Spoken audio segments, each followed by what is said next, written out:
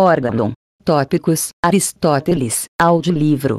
Para mais audiolivros, inscreva-se no canal e curta o vídeo.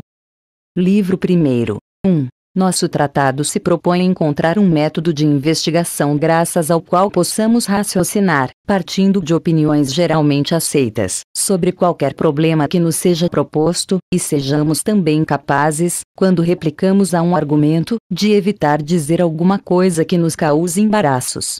Em primeiro lugar, pois, devemos explicar o que é o raciocínio e quais são as suas variedades, a fim de entender o raciocínio dialético pois tal é o objeto de nossa pesquisa no tratado que temos diante de nós. Ora, o raciocínio é um argumento em que, estabelecidas certas coisas, outras coisas diferentes se deduzem necessariamente das primeiras. O raciocínio é uma demonstração quando as premissas das quais parte são verdadeiras e primeiras, ou quando o conhecimento que delas temos provém originariamente de premissas primeiras e verdadeiras. E, por outro lado, b. O raciocínio é dialético quando parte de opiniões geralmente aceitas. São verdadeiras e primeiras aquelas coisas nas quais acreditamos em virtude de nenhuma outra coisa que não seja elas próprias.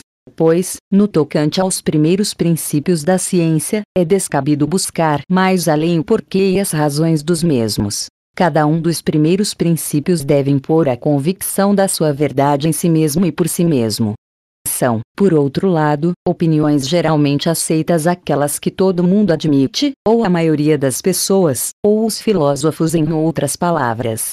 Todos, ou a maioria, ou os mais notáveis e eminentes.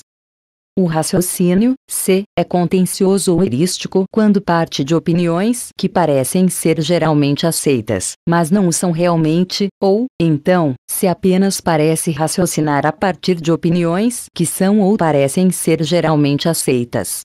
Pois nem toda opinião que parece ser geralmente aceita ou é na realidade, com efeito, em nenhuma das opiniões que chamamos geralmente aceitas a ilusão é claramente visível, como acontece com os princípios dos argumentos contenciosos, nos quais a natureza da falácia é de uma evidência imediata, e em geral até mesmo para as pessoas de pouco entendimento. Assim, pois, dos argumentos erísticos que mencionamos, os primeiros merecem realmente ser chamados raciocínios, mas aos segundos devemos reservar o nome de raciocínios erísticos ou contenciosos, e não simplesmente raciocínios, visto que parecem raciocinar, mas na realidade não o fazem. Mais ainda, de Além de todos os raciocínios que mencionamos, existem os paralogismos ou falsos raciocínios, que partem de premissas peculiares às ciências especiais, como acontece, por exemplo, na geometria e em suas ciências irmãs. Com efeito, esta forma de raciocínio parece diferir das que indicamos acima. O homem que traça uma figura falsa raciocina a partir de coisas que nem são primeiras e verdadeiras, nem tampouco geralmente aceitas. Com efeito, o modo de proceder desse homem não se ajusta à definição. Ele não pressupõe opiniões que sejam admitidas por todos, ou pela maioria, ou pelos filósofos, isto é, por todos, pela maioria ou pelos mais eminentes, mas conduz o seu raciocínio com base em pressupostos que, embora apropriados à ciência em causa, não são verdadeiros e seu paralogismo se fundamenta ou numa falsa descrição dos semicírculos, ou no traçado errôneo de certas linhas.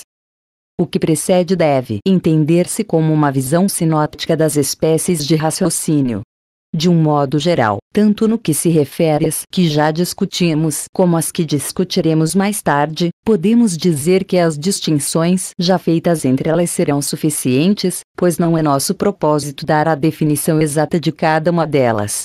Desejamos apenas descrevê-las em linhas gerais, e cremos que, do ponto de vista do nosso método de investigação, basta que possamos reconhecer de algum modo cada uma delas. 2. Depois do que precede, devemos dizer para quantos e quais fins é útil este tratado. Esses fins são três: o adestramento do intelecto, as disputas casuais e as ciências filosóficas. Que ele é útil como forma de exercício ou adestramento, é evidente à primeira vista. A posse de um plano de investigação nos capacitará para argumentar mais facilmente sobre o tema proposto. Para as conversações e disputas casuais, é útil porque, depois de havermos considerado as opiniões defendidas pela maioria das pessoas, nós as enfrentaremos não nos apoiando em convicções alheias, mas nas delas próprias, e abalando as bases de qualquer argumento que nos pareça mal formulado para o estudo das ciências filosóficas. É útil porque a capacidade de suscitar dificuldades significativas sobre ambas as faces de um assunto nos permitirá detectar mais facilmente a verdade e o erro nos diversos pontos e questões que surgirem tem ainda utilidade em relação às bases últimas dos princípios usados nas diversas ciências, pois é completamente impossível discuti-los a partir dos princípios peculiares à ciência particular que temos diante de nós, visto que os princípios são anteriores a tudo mais. É à luz das opiniões geralmente aceitas sobre as questões particulares que eles devem ser discutidos, e essa tarefa compete propriamente, ou mais apropriadamente, à dialética, pois este é um processo de crítica onde se encontra o caminho que conduz aos princípios de todas as investigações. 3 estaremos em plena posse da maneira como devemos proceder quando nos encontrarmos numa posição semelhante à que ocupamos face à retórica, à medicina e outras ciências ou artes desse tipo. Refiro-me à capacidade de fazer o que nos propomos mediante o uso dos materiais disponíveis. Pois o retórico não lançará mão de qualquer método para persuadir, nem o médico para curar, Entretanto, se não omitir nenhum dos meios disponíveis, diremos que o seu domínio da ciência é adequado. 4. Em primeiro lugar, pois, devemos ver de que partes consta a nossa investigação. Se compreendêssemos a a respeito de quantas coisas e que espécie de coisas se argumenta, e de que materiais partem as argumentações, e b de que maneira poderemos estar bem supridos desses materiais, teríamos alcançado suficientemente a nossa meta. Pois bem, os materiais de que partem os argumentos são iguais em número, idênticos aos temas sobre os quais versam os raciocínios. Com efeito, os Argumentos partem de proposições, enquanto os temas sobre os quais versam os raciocínios são problemas. Ora, toda proposição e todo problema indicam ou um gênero, ou uma peculiaridade, ou um acidente, já que também a diferença, aplicando-se como se aplica a uma classe, ou gênero, deve ser equiparada aqui ao gênero. Entretanto, como daquilo que é peculiar a uma coisa qualquer uma parte significa a sua essência e outra parte não, vamos dividir o peculiar nas duas partes mencionadas e chamar definição a que indica a essência, e quanto ao restante adotaremos a terminologia geralmente usada a respeito dessas coisas, referindo-nos a ele como uma propriedade. Que acabamos de dizer torna pois claro que, de acordo com nossa presente divisão, os elementos são quatro ao todo, a saber, definição, propriedade, gênero e acidente. Não se suponha que com isto queiramos dizer que cada um desses elementos enunciado isoladamente constitua por si mesmo uma proposição ou um problema, mas apenas que é deles que se formam tanto os problemas como as proposições. A diferença entre um problema e uma proposição é uma diferença na construção da frase. Porque, se nos expressarmos assim, um animal que caminha com dois pés é a definição do homem, não é. Ou, animal é o gênero do homem, não é. O resultado é uma proposição. Mas se dissermos, é animal que caminha com dois pés a definição do homem ou não é. Ou, é animal o seu gênero ou não. O resultado é um problema. E do mesmo modo em todos os outros casos.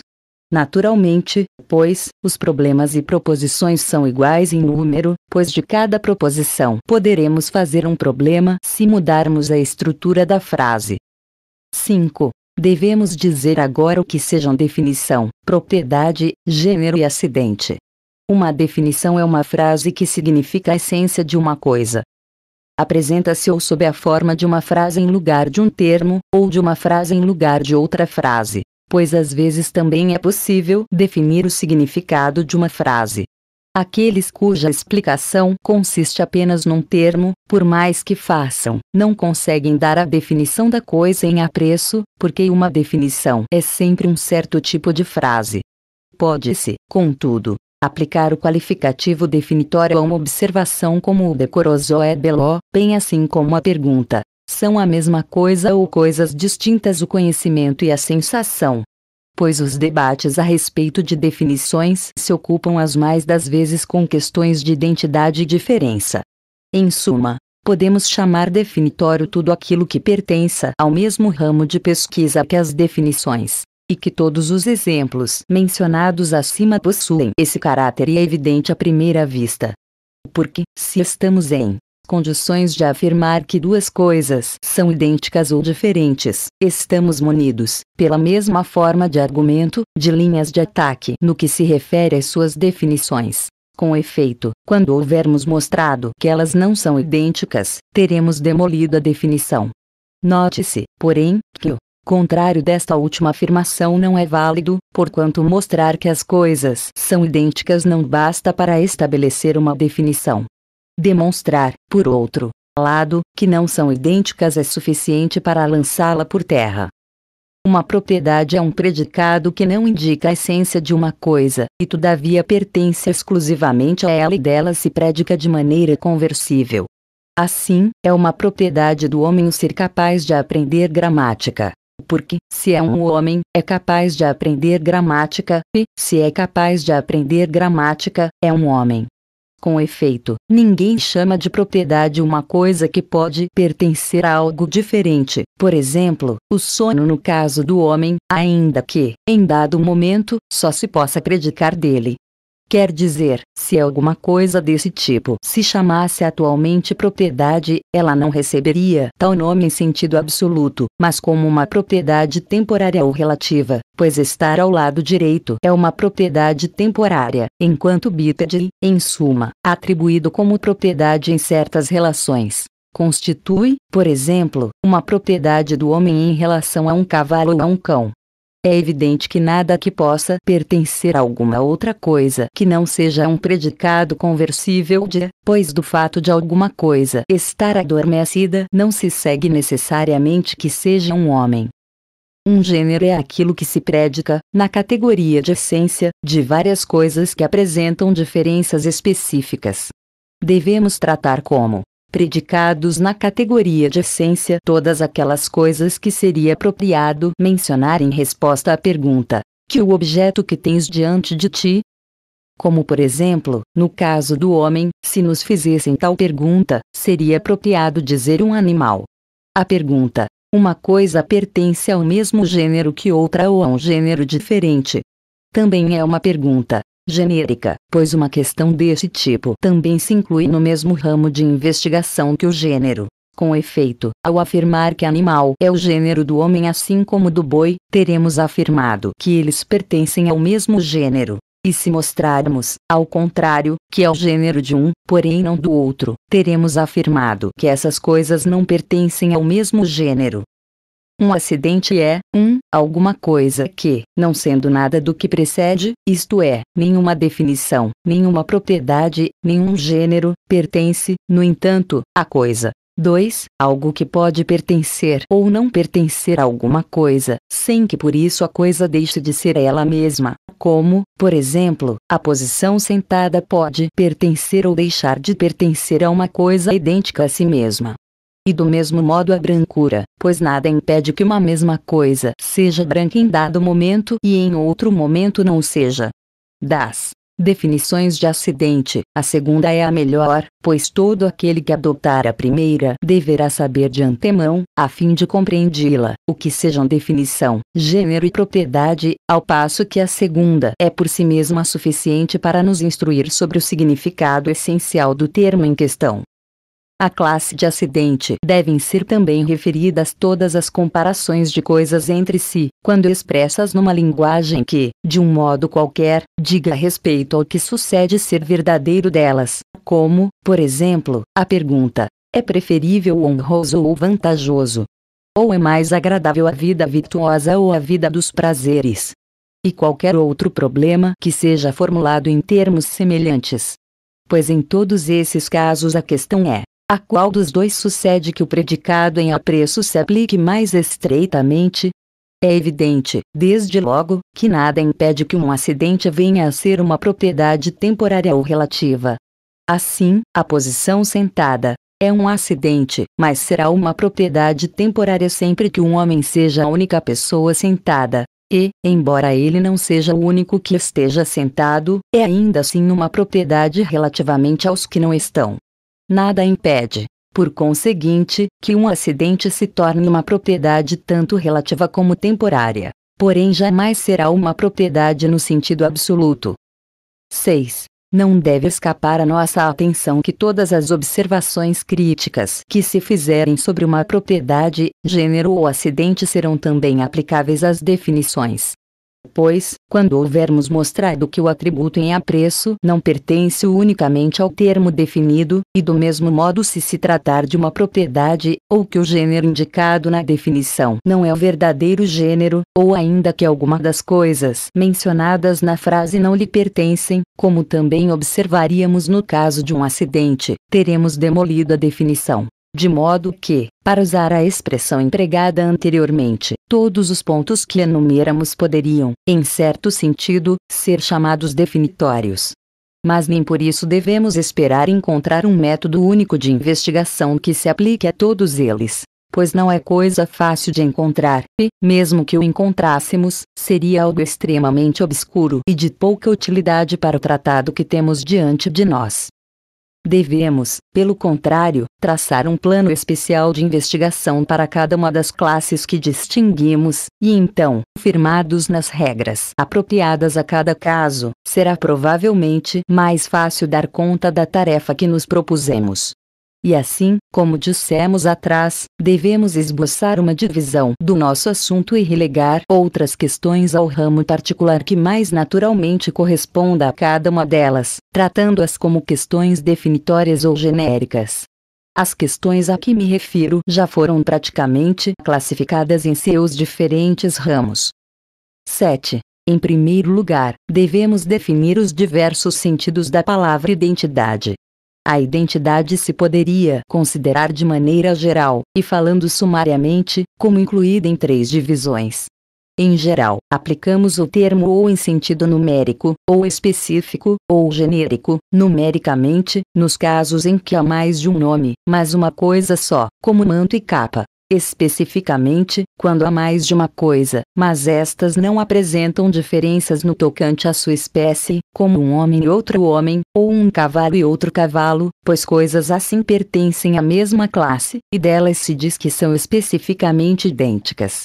E, do mesmo modo, chamam-se genericamente idênticas aquelas coisas que pertencem ao mesmo gênero, como um cavalo e um homem. Poderia parecer que o sentido em que a água proveniente da mesma fonte se chama a mesma água difere de certo modo e se afasta dos sentidos que mencionamos acima. Mas, em realidade, um caso como esse deveria ser incluído na mesma classe com aquelas coisas que, de um modo ou de outro, são chamadas idênticas em virtude de uma unidade de espécie. Todas essas coisas, com efeito, se assemelham entre si como se fossem membros da mesma família, e a razão pela qual se diz que toda a água é especificamente idêntica a qualquer outra água é uma certa semelhança que existe entre as duas, e a única diferença no caso da água proveniente da mesma fonte é que aqui a semelhança é mais pronunciada. Por isso mesmo não a distinguimos das coisas que, de um modo ou de outro, são chamadas idênticas devido à unidade de espécie. Supõe-se geralmente que o termo mesmo se emprega sobretudo, num sentido aceito por todo mundo, quando aplicado ao que é numericamente uno. Mas, mesmo assim, pode ser empregado em mais de um sentido. Vamos encontrar seu uso mais literal e primeiro sempre que a identidade diz respeito a um nome ou definição duplos, como quando se diz que um manto é o mesmo que uma capa, ou que um animal que anda com dois pés é a mesma coisa que um homem. Um segundo sentido é aquele que se refere a uma propriedade, como quando se diz que aquilo que é capaz de adquirir conhecimento é o mesmo que um homem, e aquilo que naturalmente se move para cima é o mesmo que o fogo. E encontramos ainda um terceiro sentido do termo quando diz respeito a um acidente, como quando se diz que aquele que está sentado ou que é músico é o mesmo que Sócrates. Todos estes usos, com efeito, significam identidade numérica. A verdade do que acabo de dizer pode ver-se mais claramente quando uma forma de apelação é substituída por outra. Muitas vezes, com efeito, quando damos ordem de chamar uma das pessoas que estão sentadas, designando-a pelo seu nome, mudamos de descrição sempre que aquele a quem damos a ordem não nos entende. Parece-nos que ele nos compreenderá melhor se indicarmos a pessoa por algum aspecto acidental, e assim mandamos-lo chamar o homem que está sentado, ou aquele que está conversando ali, na suposição evidente de que estamos designando o mesmo indivíduo pelo seu nome e pelo seu acidente. 8. É preciso, pois, distinguir, como já se disse, três sentidos da palavra identidade.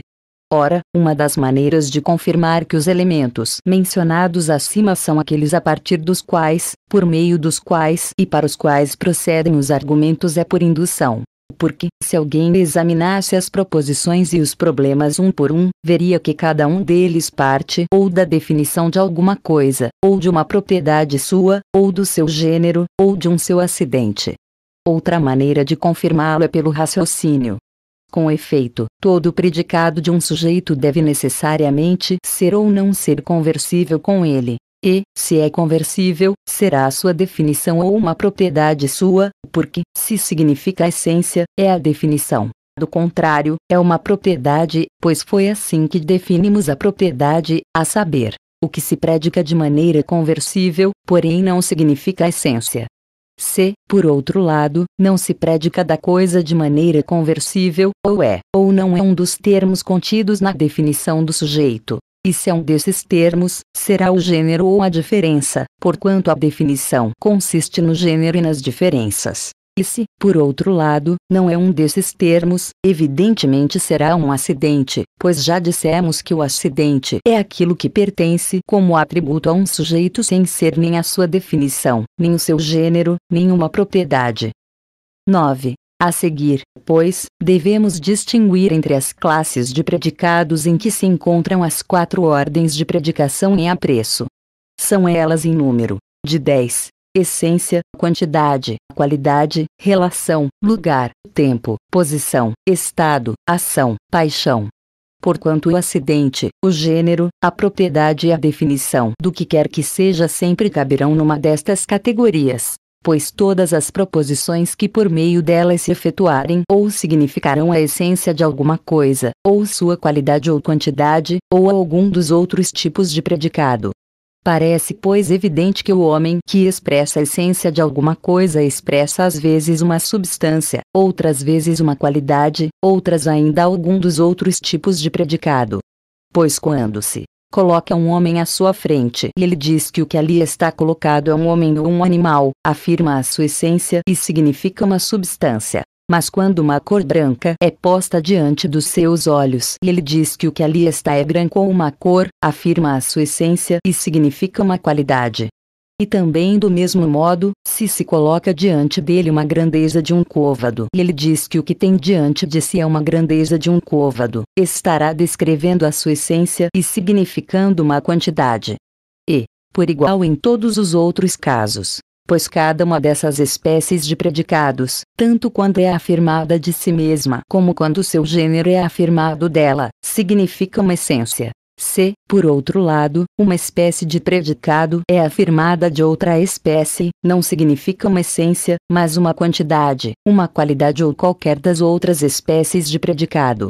Tais, e tantos são, pois, os sujeitos em torno dos quais giram os argumentos, e os materiais de que se formam. Como devemos adquiri-los e por que meios chegaremos a estar bem providos deles é o que nos caberá dizer agora.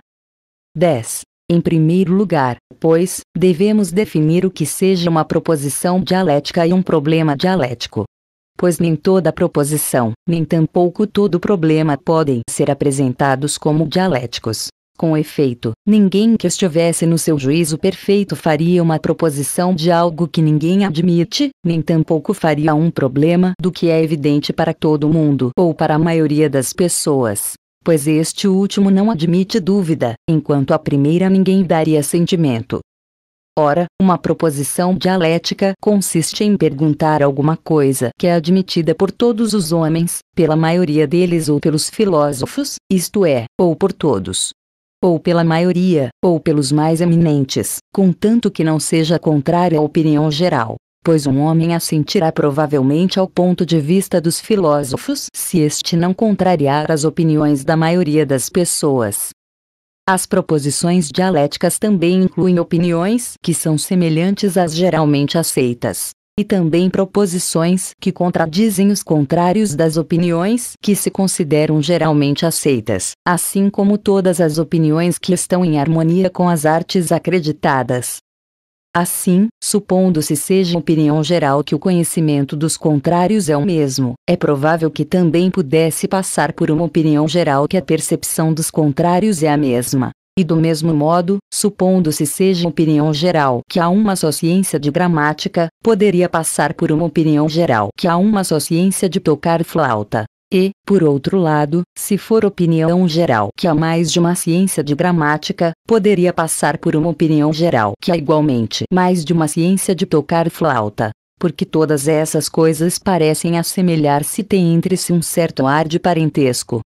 Do mesmo modo, também as opiniões que contradizem os contrários das opiniões gerais passarão por opiniões gerais, porque, se é opinião geral que se deve fazer bem aos seus amigos, será também opinião geral que não se deve fazer nada que os prejudique.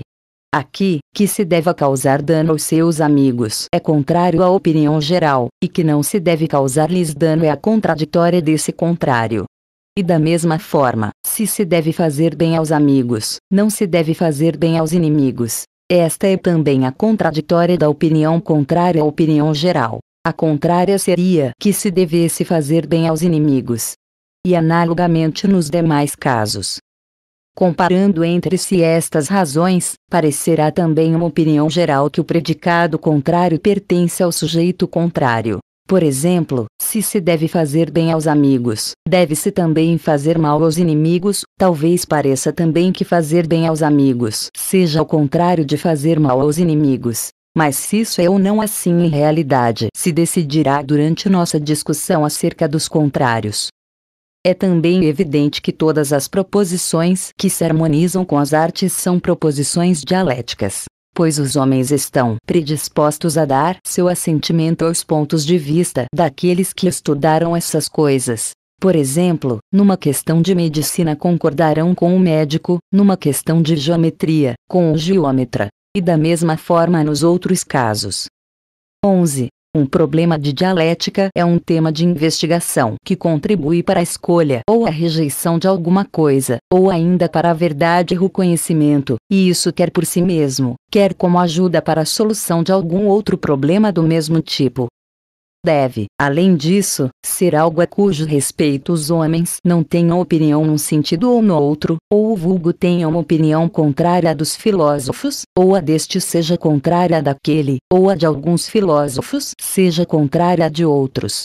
Quanto a alguns problemas, com efeito, é útil conhecê-los com vistas na escolha ou na rejeição, como, por exemplo, se o prazer deve ou não ser escolhido, enquanto a outros é útil conhecer tendo unicamente em mira o próprio conhecimento, por exemplo, se o universo é ou não eterno. E outros, finalmente, não são úteis em si por si mesmos para qualquer desses fins, mas nos ajudam a solucionar outros problemas da mesma espécie. Pois há muitas coisas que não desejamos conhecer em si por si mesmas, porém com a mira em outras coisas e a fim de que, através delas, possamos vir a conhecer essas outras.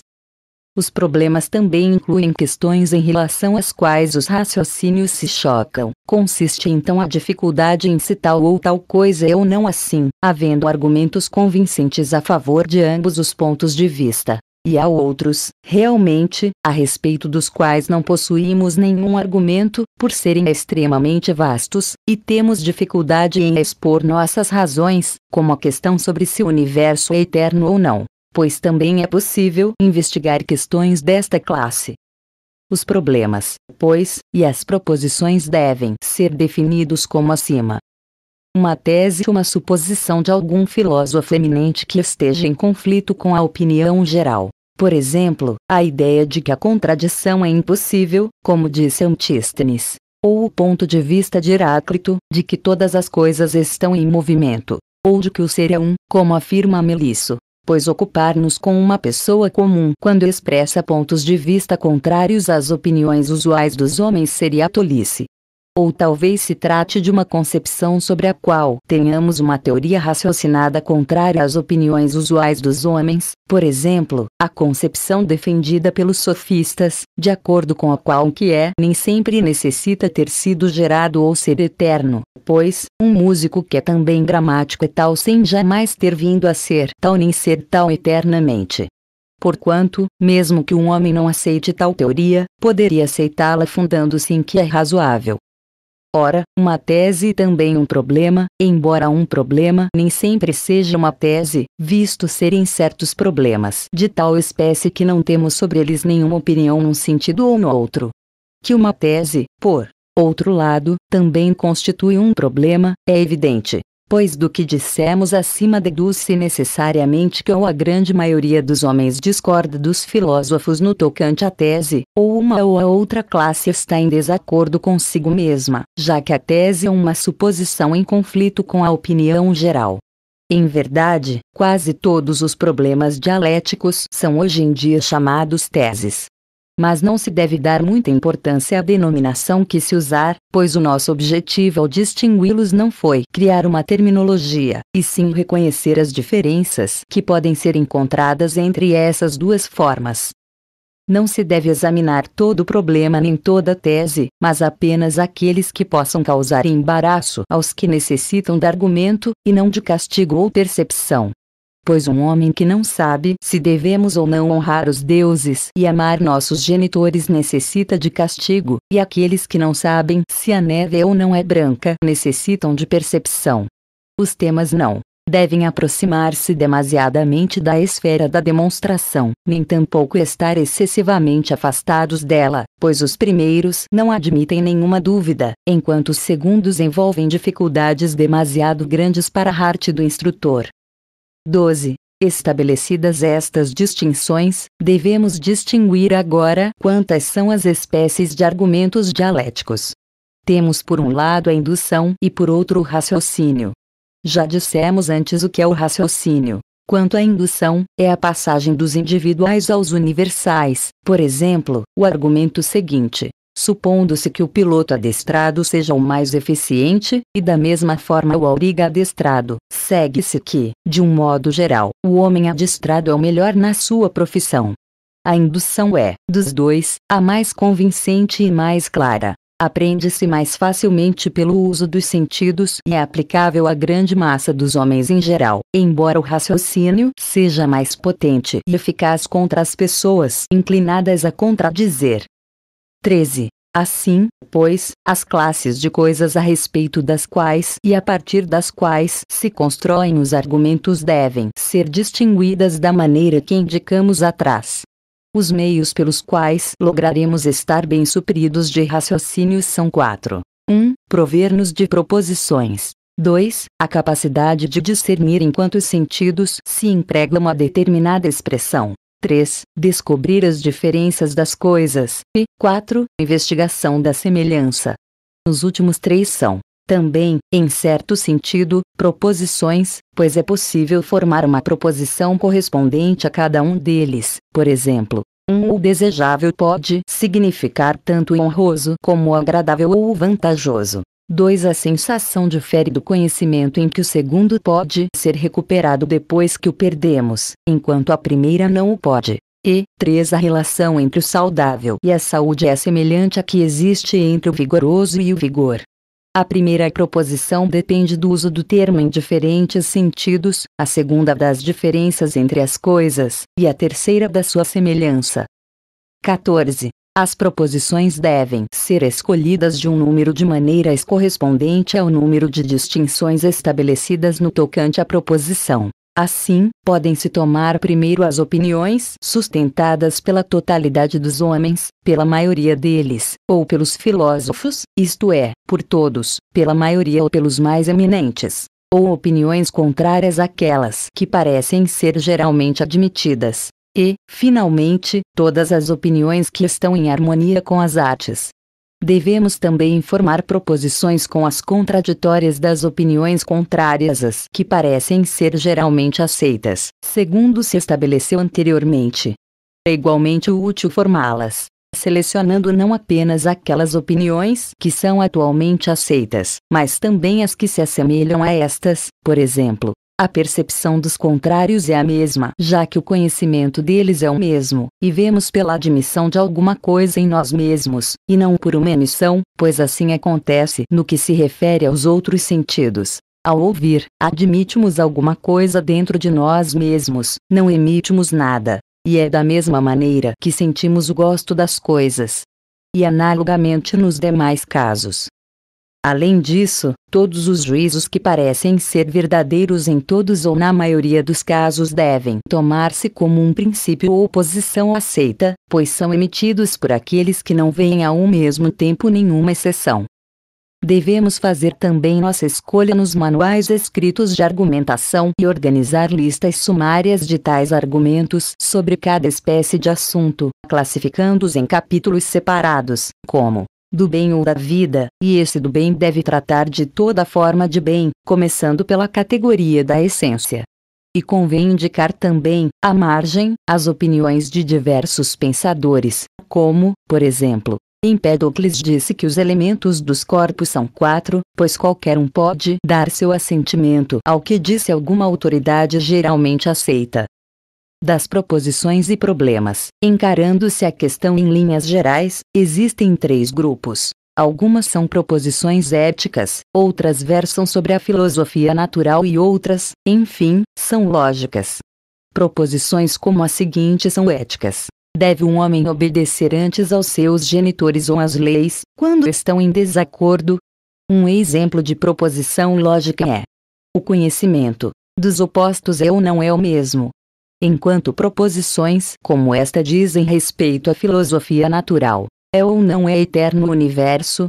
E do mesmo modo, no que tange aos problemas, a natureza de cada uma das supraditas espécies de proposição não se expressa facilmente numa definição, mas devemos esforçar-nos por reconhecer cada uma delas graças a uma familiaridade conquistada através da indução, examinando-as à luz dos exemplos dados acima. Para os fins da filosofia, devemos tratar dessas coisas de acordo com a sua verdade, mas para a dialética basta que tenhamos em vista a opinião geral. Todas as proposições devem ser tomadas em sua forma mais universal, convertendo-se, depois, uma em muitas. Por exemplo, o conhecimento dos opostos é o mesmo, e a seguir, o conhecimento dos contrários é o mesmo, e depois, dos termos relativos, e, do mesmo modo, estes dois devem ser novamente divididos até onde possa ir a divisão, por exemplo, o conhecimento do bem e do mal, do branco e do preto ou do frio e do quente. E de maneira análoga em todos os outros casos. 15. Sobre a formação das proposições, são suficientes as observações feitas acima. No tocante ao número de sentidos que um termo comporta, não devemos limitar-nos a tratar daqueles termos que possuem diferentes sentidos, mas também a esforçar-nos por defini-los. Por exemplo, não devemos dizer apenas que a justiça e a coragem são chamadas bens num sentido e o que favorece o vigor e o que favorece a saúde são assim chamados em outro sentido, mas também que as primeiras recebem essa denominação em virtude de uma qualidade intrínseca que possuem em si mesmas e os segundos porque produzem um certo resultado e não por possuírem em si mesmos alguma qualidade intrínseca. E de modo análogo nos demais casos, se um termo comporta vários significados específicos ou apenas um, deve ser considerado pelos meios seguintes.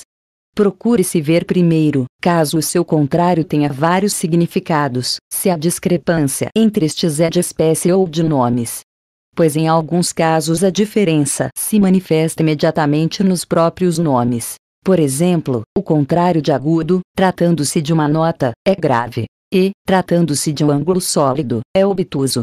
É evidente, pois, que o contrário de agudo tem vários significados, e, assim sendo, o mesmo acontece com agudo, pois, correspondendo a cada um dos termos acima, o significado do seu contrário será diferente. Com efeito, agudo não será a mesma coisa quando o contrário é grave quando o contrário é obtuso, embora agudo seja o contrário de ambos.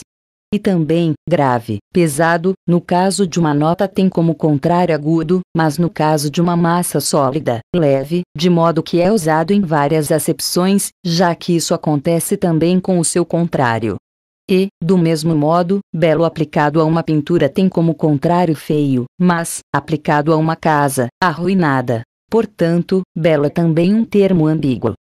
Em certos casos não há nenhuma discrepância nos termos usados, mas uma diferença de espécie entre as acepções é evidente à primeira vista. Por exemplo, no uso de claro e escuro, pois tanto um som como uma cor são chamados claros ou escuros quanto aos nomes. Portanto, não há discrepância, mas a diferença de espécie entre os significados é óbvia, pois não chamamos uma cor de clara no mesmo sentido que um som.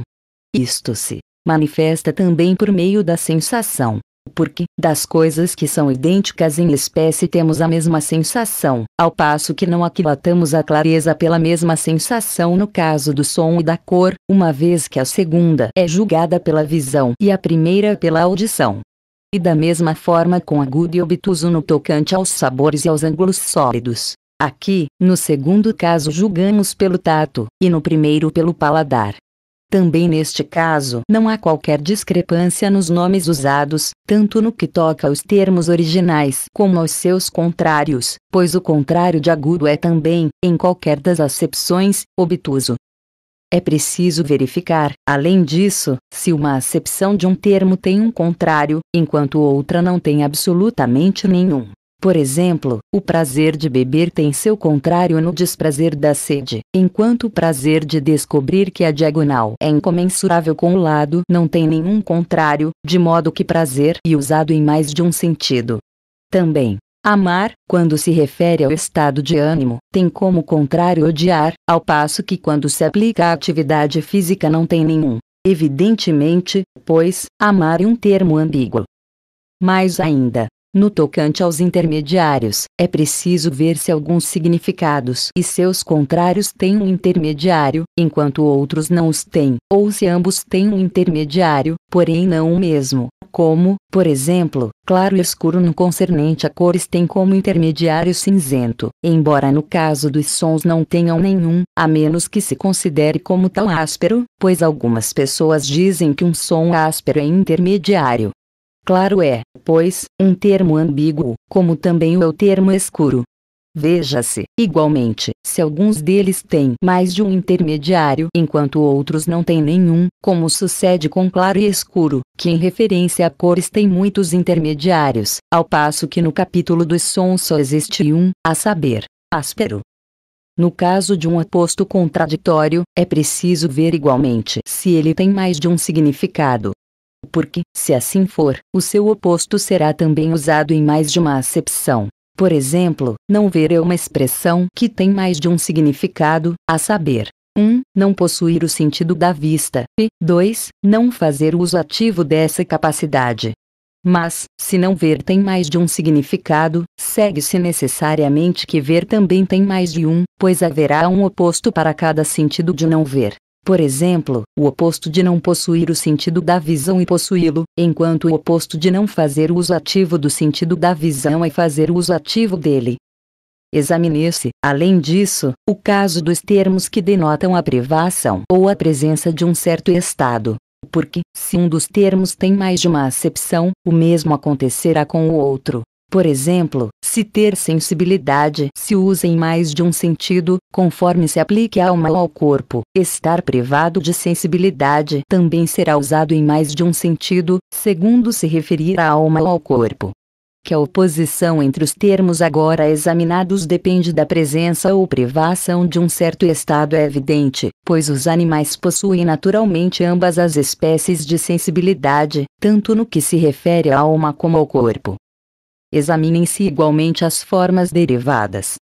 Pois, se justamente tem mais de um sentido, justo também será usado em mais de um significado, porquanto haverá uma acepção de justo correspondente a cada acepção de justamente. Por exemplo, se a palavra justamente se emprega no sentido de julgar de acordo com a sua própria opinião, e também no de julgar como se deve, então justo será usado de igual maneira.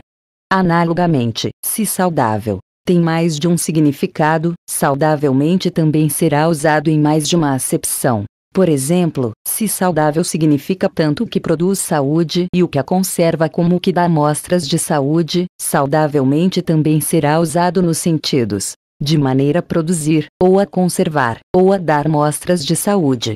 E do mesmo modo nos outros casos, sempre que o termo original comporte mais de um significado, o termo que dele se deriva será usado em mais de um significado, e vice-versa. Considerem-se também as classes de predicados que o termo significa, procurando ver se são as mesmas em todos os casos.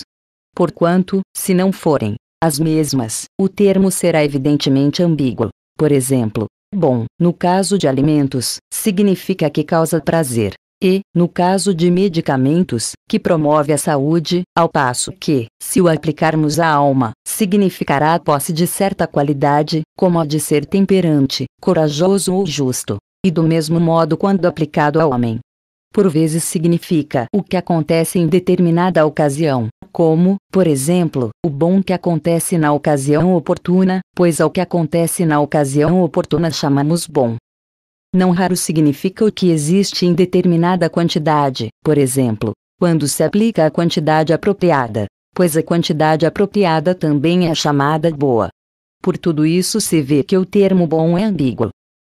Analogamente, claro, quando aplicado a um corpo, significa uma cor, mas em referência a uma nota designa o que é fácil de ouvir. Agudo é também, um caso que tem estreita semelhança com este, pois o mesmo termo não possui o mesmo significado em todas as suas aplicações. Com efeito, uma nota aguda é uma nota rápida, como nos ensinam todos os teóricos matemáticos da harmonia, ao passo que um ângulo agudo é aquele que é menor do que um ângulo reto, enquanto um punhal agudo é o que possui uma ponta penetrante, pontiagudo. Atenda-se também aos gêneros dos objetos designados pelo mesmo termo, e veja-se se são diferentes sem ser subordinados um ao outro, como, por exemplo, gato, que designa tanto o animal como o utensílio. Com efeito, as definições correspondentes ao nome são diferentes em cada caso. Num deles se dirá que é um animal de determinada espécie, e no outro um utensílio usado para certo fim. Se, contudo, houver subordinação entre os gêneros, não é necessário que as definições sejam diferentes. Assim, por exemplo, animal é o gênero de corvo e também de ave.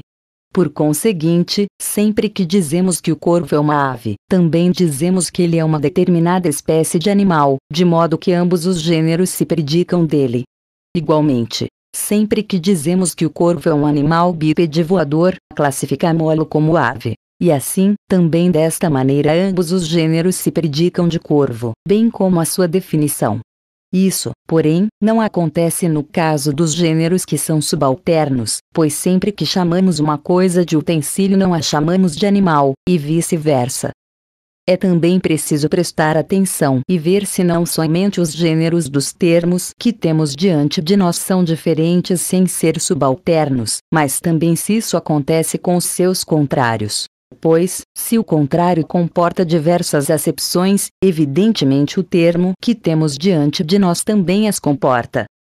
É igualmente útil examinar a definição que cabe ao termo usado em combinação, por exemplo, de um corpo claro e de uma nota clara. Porque, se abstrairmos aqui o que é peculiar a cada caso, a mesma expressão deve permanecer. Isso não acontece no caso dos termos ambíguos como os que acabamos de mencionar porque o primeiro será um corpo que possui tal e tal cor, enquanto o segundo será uma nota fácil de ouvir. Retiremos, pois, um corpo e uma nota, e o que resta não é o mesmo em cada caso. Deveria, contudo, ser o mesmo se as acepções de claro fossem sinônimas em ambos os casos.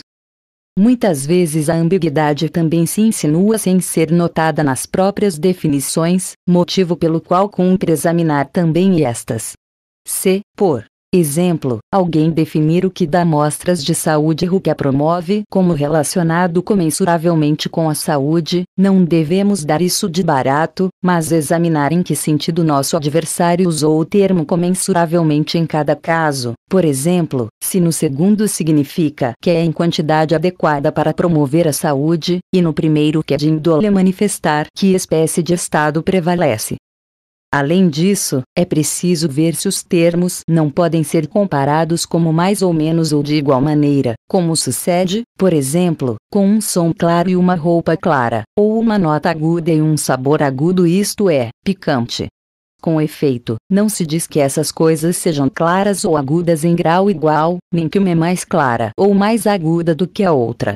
Donde se segue que claro e agudo são ambíguos, dado que os sinônimos são sempre comparáveis sempre se empregam da mesma maneira, ou então em grau maior num dos casos.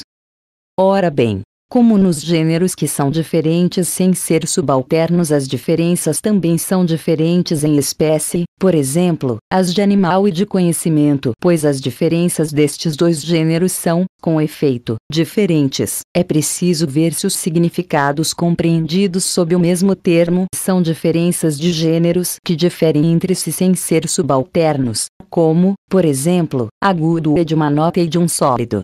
Porque o ser agudo diferencia uma nota de outra, e de igual modo a um sólido de outro. Agudo, pois, um termo ambíguo, por expressar diferenças de gêneros que diferem entre si sem ser subalternos. É preciso ver também se os próprios significados incluídos sob o mesmo termo têm diferenças distintas, como a cor nos corpos e a cor ou cromatismo nas melodias, pois as diferenças da cor nos corpos se distinguem e se comparam por meio da vista, ao passo que a cor nas melodias não possuem as mesmas diferenças. Além disso, como a espécie nunca é a diferença de coisa alguma, deve-se examinar atentamente se um dos significados incluídos sob o mesmo termo é uma espécie e o outro uma diferença, como, por exemplo, claro isto é, branco, aplicado a um corpo é uma espécie de cor, ao passo que no caso de uma nota é uma diferença, pois uma nota se diferencia de outra pelo fato de ser clara. 16. A presença de vários significados num termo pode, pois, ser investigada por estes meios e outros semelhantes. As diferenças que as coisas apresentam entre si devem ser examinadas dentro do mesmo gênero, por exemplo, em que a justiça difere da coragem e a sabedoria da temperança. Pois todas essas coisas pertencem ao mesmo gênero, e também um gênero de outro, contanto que não estejam muito afastados, por exemplo, em que a sensação difere do conhecimento. Pois no caso dos gêneros muito afastados um do outro, as diferenças são perfeitamente óbvias. 17. A semelhança deve ser estudada, em primeiro lugar, nas coisas que pertencem a gêneros diferentes, segundo a fórmula A, B igual C, D, por exemplo, o conhecimento relaciona-se com o objeto de conhecimento, assim como a sensação se relaciona com o objeto de sensação, e assim como A está em B, do mesmo modo C está em D, por exemplo, assim como a visão está no olho, a razão está na alma, e assim como a calma está no mar, está a falta de vento no ar. A prática se faz especialmente necessária quando os termos estão muito afastados entre si, pois nos outros poderemos ver mais facilmente, de um relance, os pontos de semelhança. Devemos também examinar as coisas que pertencem a um mesmo gênero para ver se todas elas possuem um atributo idêntico, por exemplo, um homem, um cavalo e um cão, pois, na medida em que possuem algum atributo idêntico, são semelhantes entre si. 18. É útil ter examinado a pluralidade de significados de um termo, tanto no interesse da clareza, pois um homem está mais apto a saber o que afirma quando tem uma noção nítida do número de significados que a coisa pode comportar, como para nos certificarmos de que o nosso raciocínio estará de acordo com os fatos reais e não se referirá apenas aos termos usados. Pois, Enquanto não ficar bem claro em quantos sentidos se usa um termo, pode acontecer que o que responde e o que interroga não tenham suas mentes dirigidas para a mesma coisa. ao passo que, depois de se haver esclarecido quantos são os significados, e também qual deles o primeiro tem em mente quando faz a sua asserção, o que pergunta pareceria ridículo se deixasse de dirigir seus argumentos a esse ponto. Isso também nos ajuda a evitar que nos enganem e que enganemos os outros com falsos raciocínios. Porque, se conhecemos o número de significados de um termo, certamente nunca nos deixaremos enganar por um falso raciocínio, pois perceberemos facilmente quando quem interroga deixa de encaminhar seus argumentos ao mesmo ponto. E, quando somos nós mesmos que interrogamos, poderemos induzir nosso adversário em erro se ele não conhece o número de significados do termo. Isso, todavia, não é sempre possível, mas somente quando, dos múltiplos sentidos, alguns são verdadeiros e outros são falsos. Entretanto, essa forma de argumentar não pertence propriamente à dialética. Os dialéticos devem abster-se por todos os meios desse tipo de discussão verbal, a não ser que alguém seja absolutamente incapaz de discutir de qualquer outra maneira o tema que tem diante de si. Descobrir as diferenças das coisas nos ajuda tanto nos raciocínios sobre a identidade e a diferença, como também a reconhecer a essência de cada coisa particular. Que nos ajuda a raciocinar sobre a identidade e a diferença, é evidente pois, após descobrirmos uma diferença qualquer entre os objetos que temos diante de nós, já teremos mostrado que eles não são mesmo. E ajuda-nos a reconhecer o que é urna coisa, porque geralmente distinguimos a expressão própria da essência de cada coisa particular por meio das diferenças que lhe são próprias. O exame da semelhança é útil tanto para os argumentos indutivos como para os raciocínios hipotéticos, bem assim como para a formulação de definições. É útil para os argumentos indutivos, porque é por meio de uma indução de casos individuais semelhantes que pretendemos pôr em evidência universal. E isso não é fácil quando ignoramos os pontos de semelhança. É útil, para os raciocínios hipotéticos porque, entre semelhantes, de acordo com a opinião geral, o que é verdadeiro de um é também verdadeiro dos demais. C. Pois, em relação a qualquer deles estivermos bem supridos de materiais para discussão, garantiremos a aceitação preliminar de que, como quer que seja nesses casos, também assim será no caso que temos diante de nós.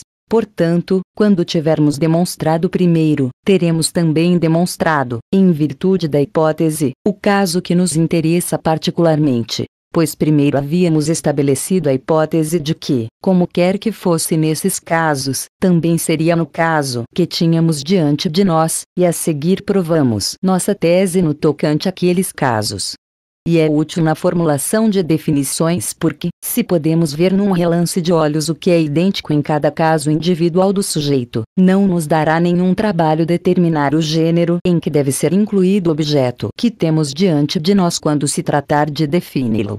Com efeito, dentre os predicados comuns, o que pertence de maneira mais definida à categoria da essência é provavelmente o gênero. E, do mesmo modo, também no caso de objetos que divergem largamente uns dos outros, um o exame da semelhança é útil para os fins da definição, como, por exemplo, a identidade da calma no mar e da ausência de vento no ar, pois cada uma delas é uma forma de repouso, e de um ponto na linha e da unidade num número, por ser cada um deles um ponto de origem. Se, pois, dermos como gênero o que é comum a todos os casos, ninguém poderá objetar que definimos de maneira inadequada. E, aliás, dessa maneira que os amigos de definições as fazem quase sempre, afirmando, por exemplo, que a unidade é o ponto de partida do número e que o ponto é o ponto de origem da linha. É evidente, pois, que tomam como gênero dessas coisas aquilo que é comum a ambas. São estes, por conseguinte, os meios pelos quais se efetuam os raciocínios. Os tópicos, ou lugares para cuja observância são úteis os argumentos mencionados acima são os seguintes: